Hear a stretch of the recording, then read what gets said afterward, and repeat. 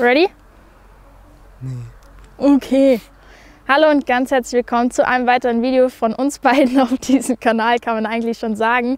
In diesem Video seht ihr eigentlich mal Tobis Entwicklung, wie er anfängt zu reiten. Mhm, ganz genau. So meine Lieben, herzlich willkommen zu einem weiteren Video hier bei mir auf dem Kanal. Nein, Spaß, ähm, bei Julia auf dem Kanal. Heute steht sie nicht mal vor der Kamera, sondern ich. Ähm, wie sie ja schon bereits in der Story vor, ich glaube jetzt zwei Monaten oder sowas erwähnt hatte. Ähm, ja, nicht wundern, Julia steht heute mal hinter der Kamera. ähm, ja, nee, also pass auf. Wir haben heute uns gedacht, wir schließen jetzt einfach mal diese Lektion von dem Video halt eben ab. Tobi lernt reiten. Ähm, und ja, heute haben wir auch die Möglichkeit, da mal ein äh, paar Aufnahmen von mir zu machen, weil die letzten Male ging das immer nur auf dem Stativ und das sieht halt ein bisschen lame aus. Deswegen ist Julia heute hinter der Kamera, die filmt mich heute mal. Und da würde ich sagen, holen wir uns jetzt einen kleinen Heinzi und ähm, fangen dann auch gleich schon an, bevor es jetzt ja, anfängt zu regnen. Let's go! So, äh, die erste Frage ist, ähm, was auch bestimmt viele interessiert, wie kam ich überhaupt zu dem Ganzen, dass ich ähm, schlussendlich gesagt habe, so hey, ich habe Bock, ähm, Reiten zu lernen oder dass mir das jemand beibringt. Und zwar, ich war ja immer mit ähm, Julia jetzt am Stall. So, und sie war, äh, oder sie hat dann immer, oder sie ist dann immer geritten. Und ich habe mir halt gedacht, so, hey, so schwierig kann das doch eigentlich gar nicht sein. Also mein erster Gedanke, als mir Tobi davon erzählt hat, dass er reiten will, daran kann ich mich ehrlich gesagt nicht mehr daran erinnern. Ich habe, wie gesagt, ein leichtes Kurzzeitgedächtnis gefühlt. Ähm, aber ich glaube, ich habe es einfach gefeiert und fand es mega cool, dass wir jetzt unsere Leidenschaft teilen und einfach öfters am Stall sein werden. Und ja, ich glaube, das war so mein erster Gedanke daran. So, und ich bin halt einer, ich sammle halt sehr, sehr gerne Erfahrungen und probiere halt viel aus, bevor ich mir da eine Meinung bilde. Habe ich zwar schon gemacht und dachte mir halt auch so, ja, das kann doch nicht so anstrengend sein. Ja, und dann hat Julia gesagt, so, hey, ähm, lass doch einfach eine Challenge draus machen. Jetzt für YouTube, vielleicht noch als paar Instagram-Stories, je nachdem. Ähm, Tobi lernt innerhalb von drei Wochen reiten. Bei Tobis Erstkontakt mit seinen Pferden, beziehungsweise eigentlich der erste Kontakt war mit Lady, da habe ich Tobi eigentlich relativ ängstlich und auch in Anführungszeichen schüchtern wahrgenommen. Also er hat sich eigentlich kaum getraut, Lady anzufassen und er hatte mega Respekt vor ihr, einfach vor ihrer Größe, was ich eigentlich im Nachhinein gar nicht so verstehe, weil vor Rumi war das dann gar kein Problem. Klappt. Ja. Vor allem ist es so lustig, mal einfach jetzt selber wieder vor der Kamera zu sein, weil normalerweise ähm, bin ich immer hinter der Kamera und es ist jetzt auch mal ganz cool zu sehen, wie sowas aussieht, wenn einer spricht und einer die ganze Zeit mit der Kamera hinterher ähm, läuft. Ich bin mal gespannt aufs Endergebnis. Äh, läuft die Kamera überhaupt? Ja. Sehr gut. Ähm, warte, was ist von ihm? Das Ding da, gell? Ja. Easy. Vor allem, was mich mal interessieren würde, das könnt ihr gerne mal unten in die Kommentare reinschreiben, in welcher Zeit ihr so das Reiten gelernt habt, wo ihr sagt, ähm, ja, da konnte ich es eigentlich ganz gut. Also bei mir, wo ich jetzt sagen konnte, okay, einigermaßen konnte ich gut reiten, oder was heißt gut, waren jetzt glaube ich wie viel? Vier Reitstunden? Fünf? Sowas, gell? Ach Heinz, jetzt bleib hier, komm. Hey, an Tobis erste Reitstunde kann ich mich ehrlich gesagt auch nicht mehr ganz erinnern, denn ich habe davor mit Tobi gearbeitet, beziehungsweise währenddessen gearbeitet und dann eigentlich nur noch am Ende zugeschaut. Ich glaube, das sieht man auch im Video, wie ich im Hintergrund mit Tobi da so ein bisschen Parelli mache. Auf jeden Fall fand ich eigentlich, dass Tobi das ganz gut gemacht hat, so abgesehen von seinem Sitz. Also er war so recht weit so nach hinten gelehnt, so die Beine relativ weit vorne, aber an sich finde ich, hat er eigentlich das Tempo beziehungsweise ja, saß eigentlich echt gut im Sattel, hätte ich echt nicht gedacht. Es war wirklich sehr, sehr ungewohnt, in diesem ähm, Sitz oder auf dem Sattel halt zu hocken. Ich kannte sowas noch nicht, aber muss dennoch sagen, dass es ja, relativ gut war äh, für den Anfang in meinen Augen. Und das Lustige war, das ähm, habt ihr jetzt auch in dem Video gesehen oder werdet ihr jetzt gleich sehen, dass er an dieser Stelle einmal komplett in Galopp geht.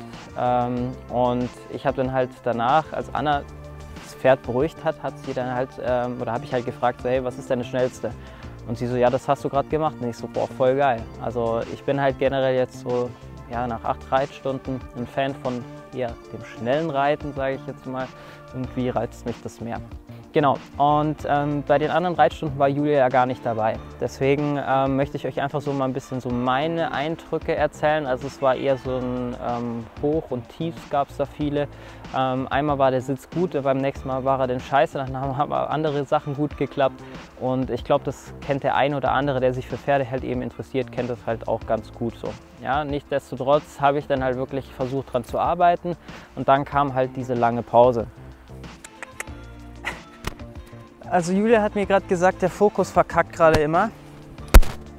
Ähm, ich glaube, das war jetzt heute auch das letzte Video von mir, wo ich rede, weil ich glaube, ich kümmere mich dann das nächste Mal noch einfach mal um die Kamera. So geil.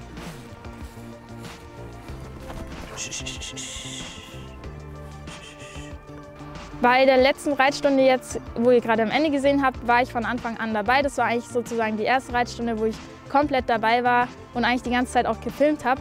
Da ist mir aufgefallen, dass eben Tobi Heinzi von der Weide geholt ja. hat und sich da einfach noch nicht so gut durchgesetzt hat, wie er das normalerweise eigentlich gemacht hat.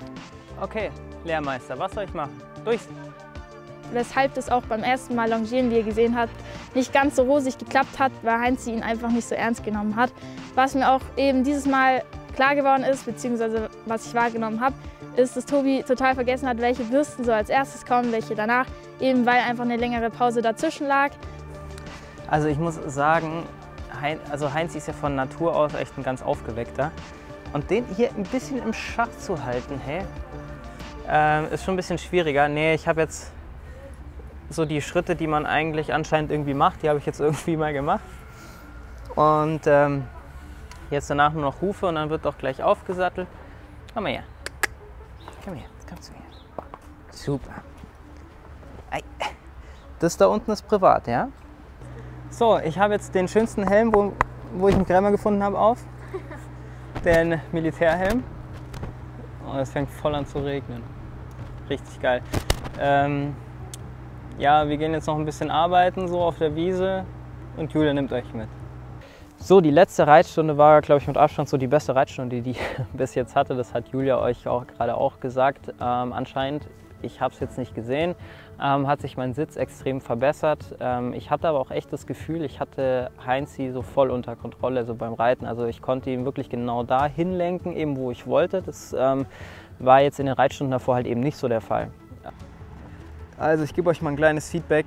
Ich habe ihn jetzt gerade mal ablongiert. Warum das ab und nicht anlongieren heißt, bevor man reitet, verstehe ich jetzt zum Beispiel auch nicht. Ähm, erstmal Respekt an die Leute, die das eine Stunde machen können. Mir ist so schwindlig gewesen äh, und jetzt auch so ein bisschen übel. Und wahrscheinlich vielleicht deswegen oder so, wo ich es danach gar nicht geballert habe, dass er einen anderen Gang gelaufen ist, als ich eigentlich wollte, weil mir so schwindlig war. Aber egal, jetzt geht es gleich ans Reiten. Ich bin mal gespannt, wie das klappt. Also da bin ich auf jeden Fall positiver, weil das kenne ich schon, das habe ich jetzt das erste Mal gemacht hier.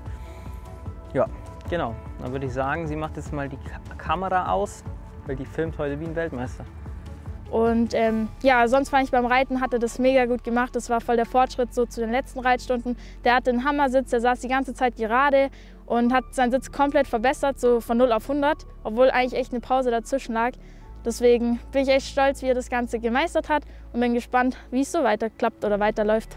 Ähm, einfach versucht, mal alle Hilfen, die ich gelernt habe, zusammen ähm, einzusetzen.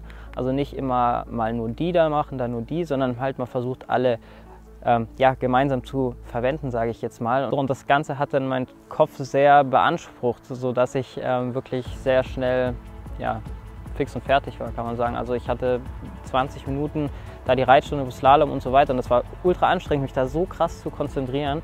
Ähm, aber hat in dem Fall ganz gut geklappt, wenn man sich konzentriert und ähm, genau. Unsere Zukunftsaussichten bzw. Tobis Zukunftsaussichten sind eigentlich, dass er jetzt am Ball bleibt und regelmäßig Reitstunden nimmt.